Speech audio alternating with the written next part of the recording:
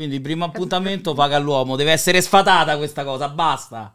Ho pagato per troppe cene io. No, scherzo.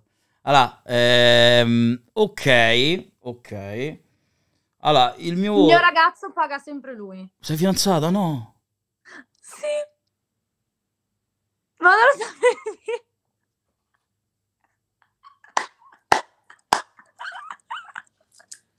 Mi sento male.